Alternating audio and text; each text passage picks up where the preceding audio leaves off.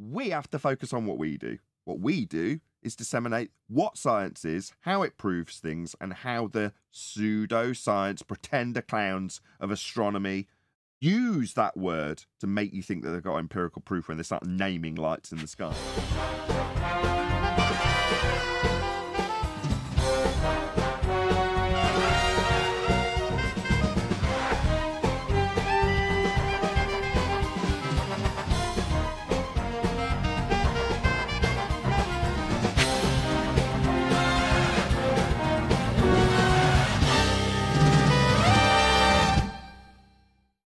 The Earth is not up there with them. No, we're not. We're not one of the lights in the sky, but that's what they'd have you believe. Exactly, James. Thank you for the super chat. Good point. Right. And I think every every point made was valid. We just we can't call it the feast of nonsense anymore. Why can't we call it the feast of nonsense? That slipped me by also, John. Right, because the people that are disseminating this information are just trying to figure out the truth. It seems unfair to call it nonsense. Oh, you're being Well, facetious. regarding, no worries. I'll pick I up on just- that too. No, no, I'm, I'm not saying that we should not critique them. When I take the position that we shouldn't do it, it's because I don't want it to become the primary focus. But every time we do do it, we are doing it, even though I'm saying we should not. By virtue of us having the discussion and me saying we shouldn't, we are literally doing it, aren't we? Therefore, it is happening. I can put a complete stop to certain discussions if I choose to. For example, if we start talking about vaccinations, I can just end those conversations. It's not like we have to skirt the issue, which is what we're doing here, or what I'm doing while you make the issue overt because it's your passion. You're passionate about Witsit. You're all fans. You're all watching. You all want him to say how you see things. no. I get it. I'm a bastard too, John. true. I'm That's just as bad as you. John, and if I want to be. Go ahead. That's not love it. true. I don't even watch. I don't even watch or follow. I get everything here from other people who may have found a clip or something. But right see, from the from the call- super you fans who call- share from the super fans who hang share it with you. hang on. You're you're very keen to call out globe heretics, but when it comes to flat Earth heretics, well, you're talking this way. yeah, I mean you Oh, can. come you- on, no, that was a good one. Calling us fans, I thought that was that was pretty slick. I like that. Well, no, no, the fans are the ones that are sharing it with you. You know, you're saying tenth. This is not you. That you're getting these links from all the super fans who share the links with you. They're watching. They're sharing. well- Lucky old Witsit is what I say. Please share my show, guys. You know, so we can all have this hot topic discussed about flat Earth debate, rather than the super fandom of Witsit and his shares that he's getting. Lucky old bastard. Well, And I I just just said I it's it's see. not not just a fandom thing, though. The, like some of us have argued alongside the guy. Some of us are on a song with the guy. You know what I'm saying? So it's not just oh we're just fans. We care. It's like you, think it's cool to be called a scammer, and I hang out with scammers because you he know said that I though? think science proves things. Did he say that? Did he say that, chocolate? that, that I argued uh, alongside. Like that's crazy. Did he say that though? Did he say we were scammers?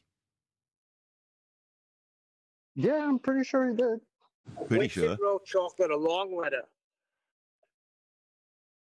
Yeah, that was a private conversation though, so I don't know if we could uh, go into it. Okay, let me just clarify for, this for with the audience, scammers. right? So, Jeran has been on a anti-science tip. Now, I'm gonna try and be as kind as I can to Jeran, right?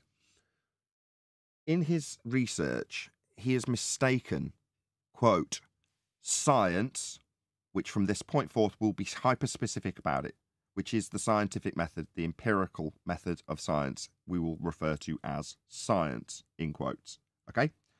Jeran has mistaken science, in quotes, for pseudoscience. Okay, now in the arena we are in, it's riddled with pseudoscience. In fact, 90%, if not more, of the claims that are science aren't science, they're pseudoscience. So for the most part, Jeran is actually correct. Yeah, when he says these science believers with their making it up with maths, yeah, that's all true. He's right. But there's a nuance he's missed which is they have the reason they're calling everything science is because science is empirical and if you can lend credence to your maths or your nonsensical assertion like earthward rising or earthward spinning or earth in orbit if you can take those maths and make the person you're telling make it them believe that it's empirically validated, you use the word of empiricism. So you say, science proves orbits, science proves the globe, science proves Timotei makes your hair shiny.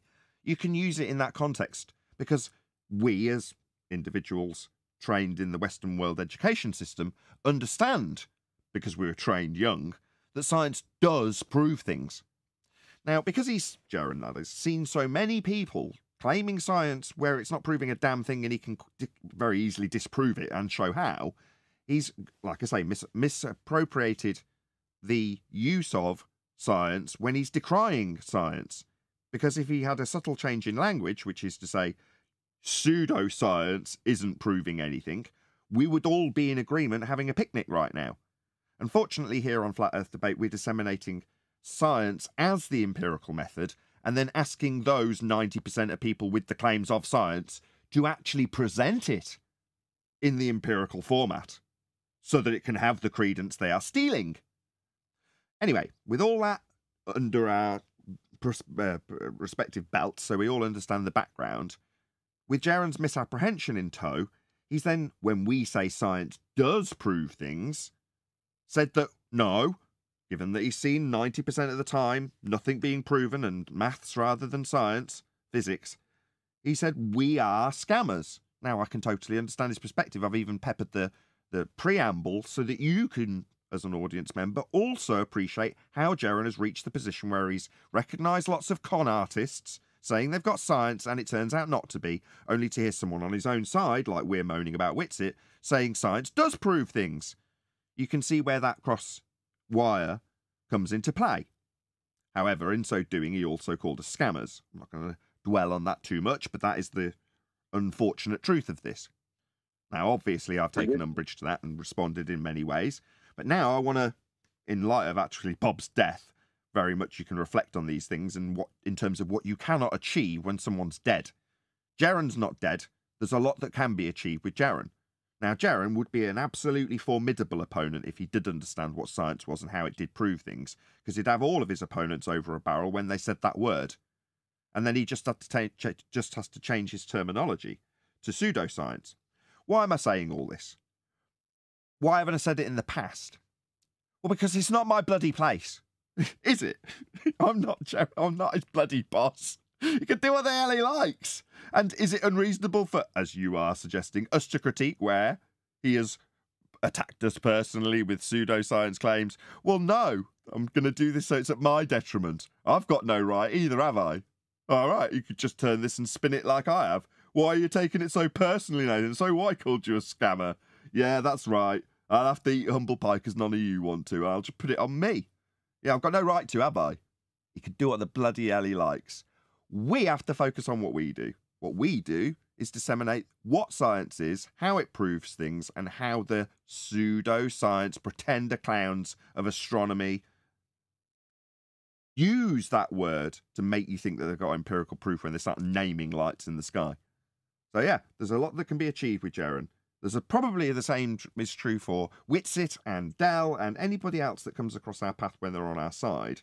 But my overarching point is if we only ever focus on how wrong they are, and then my, my example of, well, you've got to be a wrong a lot to be right eventually, has just had the piss taken out of it by John, so I've got to go on to this tact instead and take it upon myself to say, no, I'm not, I'm not in any righteous position to tell Jeran how he should be disseminating science as much as I am You right. always do this, Nathan. You always do this. You always change it to that uh, paradigm that none of us are in. No one is here that I've ever heard said we want to be Jeran's boss or Witz's boss. No one even look. We can only control ourselves, and that's a hard enough job. You, okay? you That's it. categorized it. He shouldn't be saying it as a flat earther. So we're in a group with a hierarchy and a structure, and certain people in that group shouldn't be saying certain things if they ascribe to that title. You've put it into that hierarchical position.